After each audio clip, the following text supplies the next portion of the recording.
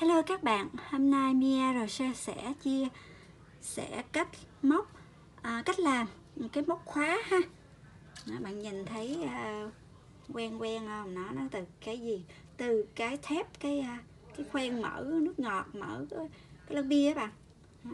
Ha, mình tận dụng mình làm một món đồ xinh xắn ha, khéo tay chút xíu là mình làm được rồi. Ha, nó đơn giản lắm bạn không có khó nha ở đây á bạn có sợi thì bạn dùng sợi nè. Nó này mấy cái sợi để móc túi á. Vì cái um, nó nhỏ quá phải mình khi mình làm mình phải chập đôi lại. Còn nếu bạn không có loại sợi này thì bạn có thể dùng ruy băng đó bạn. Đây cái này là cái mình làm từ sợi ruy băng nhưng mà do nó cái bản nó to quá lúc mình mình xỏ vô như thế này nè mình phải xếp nó lại đó mà trong quá trình mình xếp nó lại khi mình xỏ qua xỏ lại á, mình phải điều chỉnh ha để cho nó đừng có bị bị xoắn như thế này là nó nó cộm lên nó không đẹp. Nên khi bà bạn có sợi ri băng á, thì có bạn muốn thích ri băng á bạn chuẩn bị cái bản nhỏ thôi ha cái bản nó như thế này thôi phân nửa thôi ha. Đó, chuẩn bị cho mình 6 cái thép này ha. Đó, 6 cái thép có uh, ở đây mình đã bẻ nè, mình cắt cái này, bạn nhớ ấy cái này lại để cho nó đừng có bén cái chỗ này nha. Rồi, cái này là mình chưa có có bẻ nè. Phải dùng kè mình bẻ lại.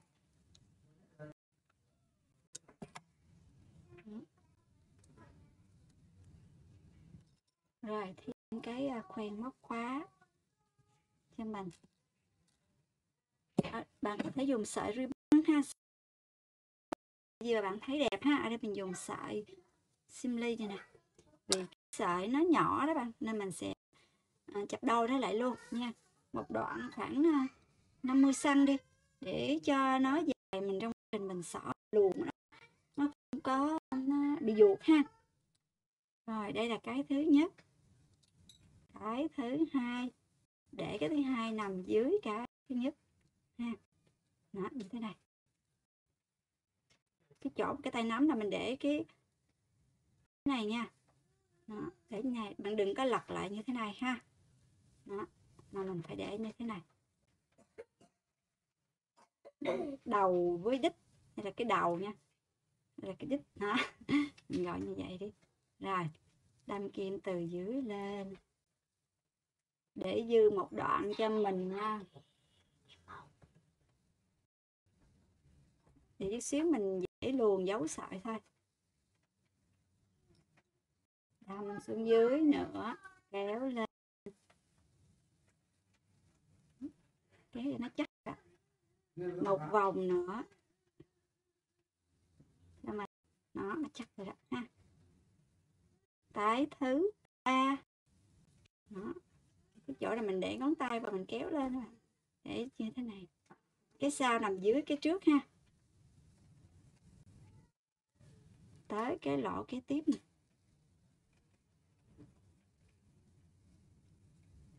Ừ. dịnh nó lại đi cho nó chắc. Cẩn đâm từ dưới lên một lần nữa.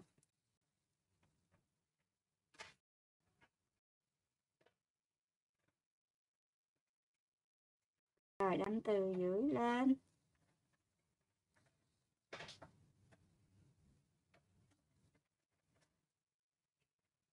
Tục tái kế tiếp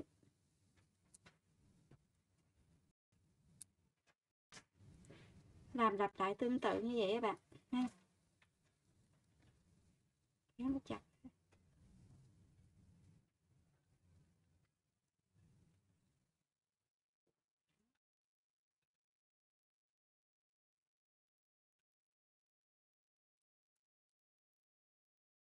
Rồi, kế tiếp đủ 6 cái thì mình ngưng nha. Là mấy cái rồi 1 2 3 4 5 cái rồi đó.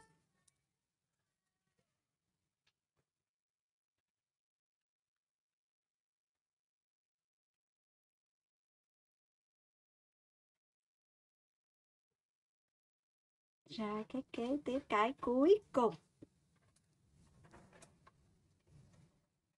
cái lại ha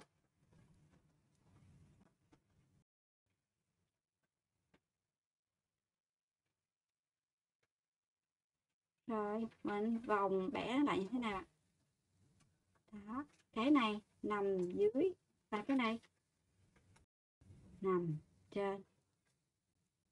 Đó thấy ra cái này chưa giống chưa ra cái giống như cái bông hoa rồi đó. Rồi mình đâm xuống như cái cái vòng tròn trung tâm này cái nhụy nè. Trong quá trình à, bạn làm mà có thể điều chỉnh ha. Đó. vừa xỏ qua vừa kéo cho nó chắc ha để khi mà bạn bạn kéo một vòng hai vòng bạn bạn không có sửa, sửa được đó. đăng qua cái phần cuối cùng này phải đâm xuống. Đâm lên. Cho nó xuống. Đó. rồi một lần nữa cho mình. Rồi, đâm xuống. Rửa cho ờ, cái sợi nó ngay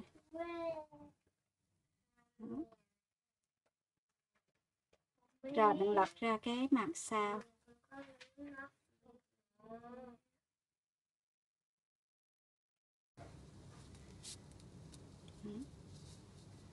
Rồi, bạn có thể buộc hai sợi này lại đi, cho nó chắc đi rồi bạn luồn bạn giấu sợi nha.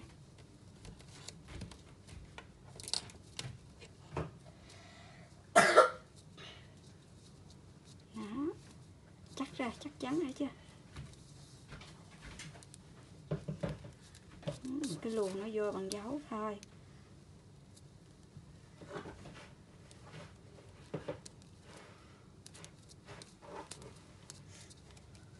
Còn khi bạn làm sợi ri băng đó, thì bạn cũng có thể bạn bạn làm xong rồi bạn cũng có thể luồn được chứ không phải nhất định là cái cần cái kim các bạn ha.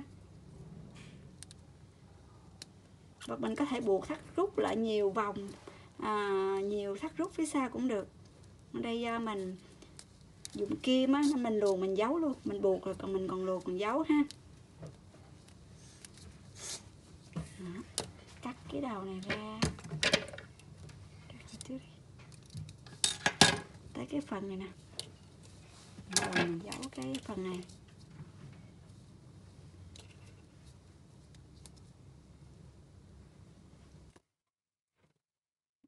Chắc lại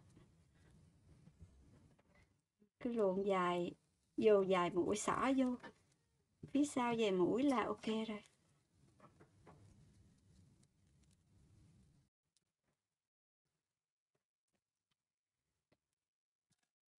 Rồi, xong mình cắt cái phần dư đi nè.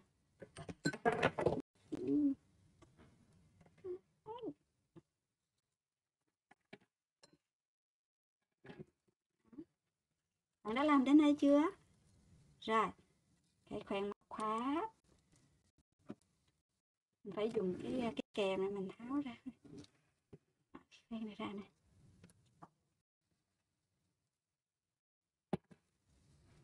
bạn nào mà mạnh tay thì không cần cái kèm cũng được. Đó. Thì mình phải dùng kèm cái tay mình bẻ không có nổi mà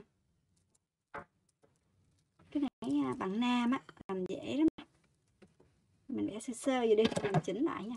Tại nó cũng cứng quá. Đó, mình đã xong cái khoen móc khóa rồi. Rất đơn giản, rất dễ đúng không bạn mà lại có một cái khoen móc khóa rồi mình sẵn rồi Ta-da, vậy là mình đã hoàn thành xong móc khóa từ cái thép của lon nước ngọt hoặc lon bia ha rất là dễ đúng không các bạn Cảm ơn các bạn đã xem và ủng hộ kênh Mia Roche. Hẹn gặp lại các bạn ở những kênh video sau nhé. Bye bye.